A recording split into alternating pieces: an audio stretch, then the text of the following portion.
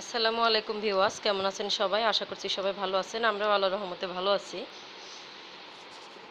আজ আমি আপনাদেরকে আমার ছোট্ট সোনামণি, আগে প্রতিদিনই হোটেল থেকে আমি সকালবেলা পরোটা এবং অনেক কিছুই কিনে দিতাম দোকানে গেলে। আপনারা যারা আমার সাবস্ক্রাইবার, তারা অলরেডি জানেন আমাদের একটি দোকান আছে।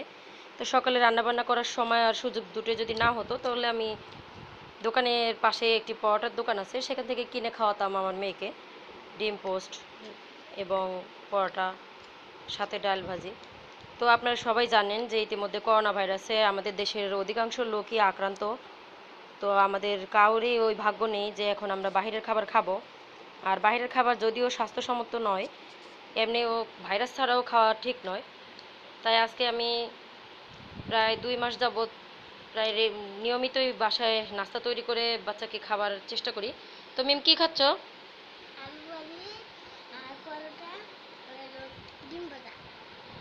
ডিম পোস্ট খাচ্ছে ও ডিমটাকে ভাজা বলে ফেলেছে আলু ভাজি এবং পরোটা। তো এগুলো কেমন লাগতেছে? তোমার কাছে ভালো লাগতেছে? মজা হইতেছে?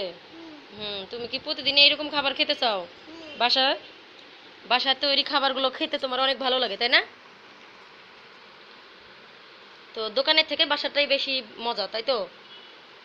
তো ভিউয়ার্স শুনলেন, বাচ্চারাও পছন্দ করে বাসার খাবার, তো অবশ্যই আপনারা বাসায় মজার মজার খাবার তৈরি করে বাচ্চাদেরকে খেতে দিন এবং তাদের মন ভালো করার জন্য আপনারা তাদের খেলা সাথী হয়ে যান এবং এই মুহূর্তে একেবারে বাড়ির বাইরে বের হবেন না এবং মাস্ক পরিধান করে বের হবেন এবং দূরত্ব বজায় রাখবেন সামাজিক।